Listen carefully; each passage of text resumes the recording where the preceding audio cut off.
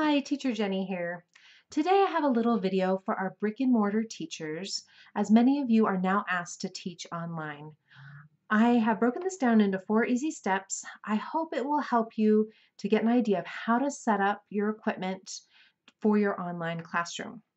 I have been an online teacher for three years and I was a brick and mortar teacher many more before that.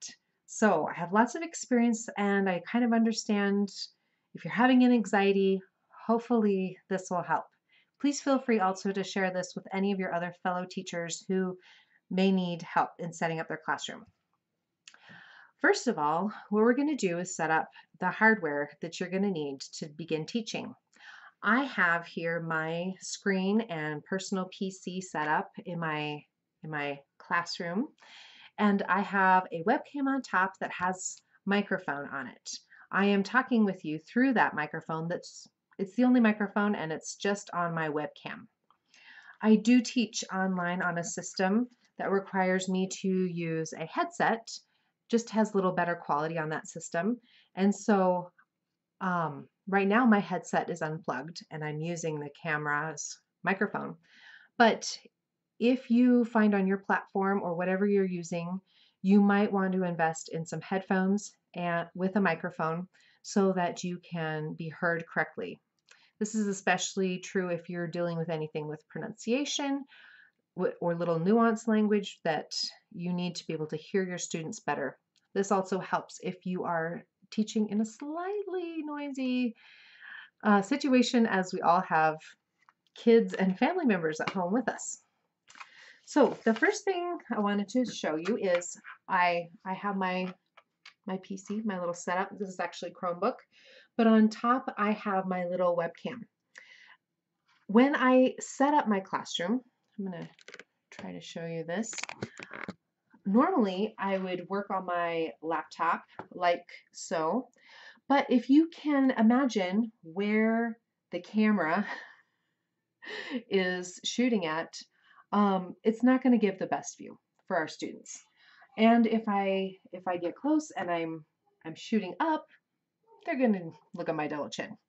So what we're going to do is you're going to find um, a box or something in the house, a stool, something that you feel comfortable doing. I would probably use another can under here if I was going to teach all day, but something where I can get into eye contact with my students. That is going to be the best way to so that they can look at me and we have great view of each other. All right, so this, and that's exactly what I've done here with my regular PC. I have great eye contact and it's set up just the way I want. When you have got that set up, I would like you to go to onlinemictest.com. By the way, at any moment, please feel free to pause the video and go ahead and do the steps so we can work on this together. After you are on onlinemictest.com, you're going to see a little button. It says the play button. The first time that you hit this play button, it's going to ask you permissions to use your uh, microphone or use your camera. Hit yes or allow on both of those. Um, my husband, who's an IT guy, uh, recommended both of these to me when I was first setting up my classroom. They are, it's a perfectly safe site and it's very handy. Okay, so right now I have done the mic test. That's the first one that pops up. And as you can see, the microphone on this is picking up my voice. You can see the strength of it. You can see when I'm not talking. So this, this is working we we're go. if you go over here to the tools button, there are other tests you can do. The second one down is the webcam test. And here, uh, we're gonna, again, start. And there we are. You can see that's the view I have of my sewing machine over on the other side of the room and my computer. So my webcam is working and my microphone is working. And then if it's at the proper height, I'm halfway there. Okay. The very next thing to do is to think about your background.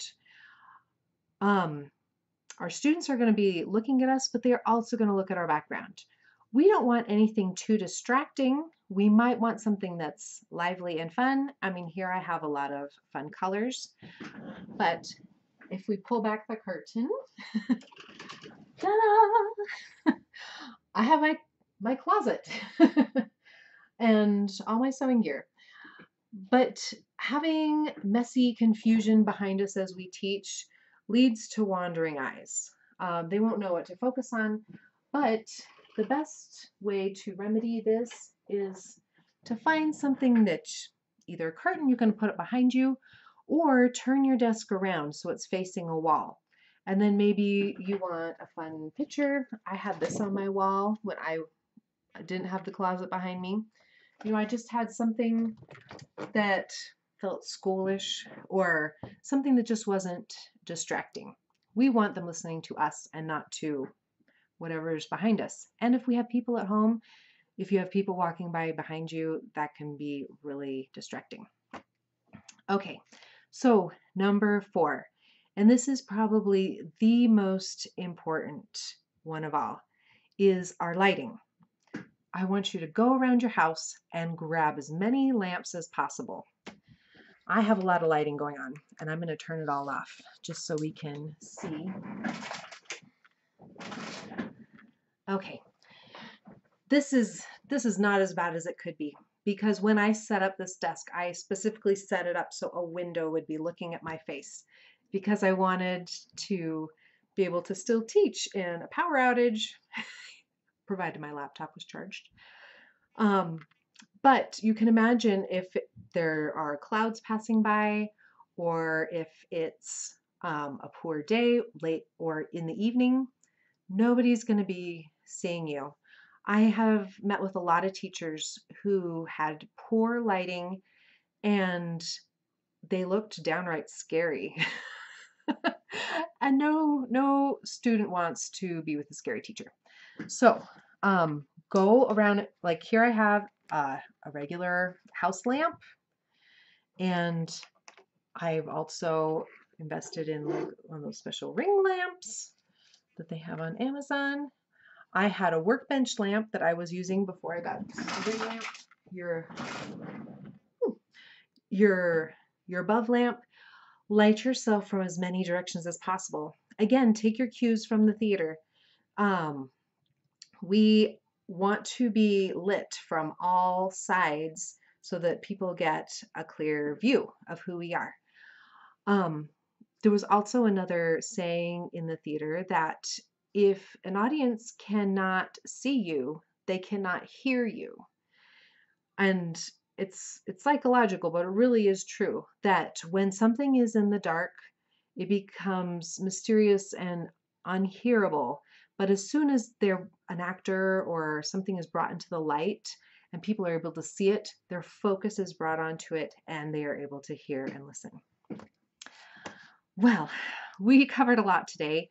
These are the first four steps. Setting up your computer so that your camera is at eye height. Get an online test so that you can test your camera and your microphone. Think about your background set it up so that it is not distracting, but can also bring an element of fun.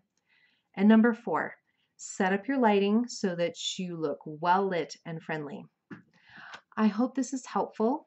If you have any questions, why don't you put them down and tell down below.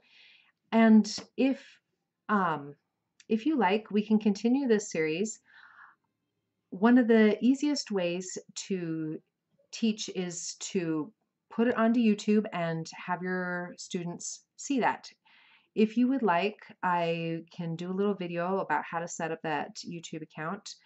Um, and also look for my next video on how to put your lessons into this online classroom. I'll see you later.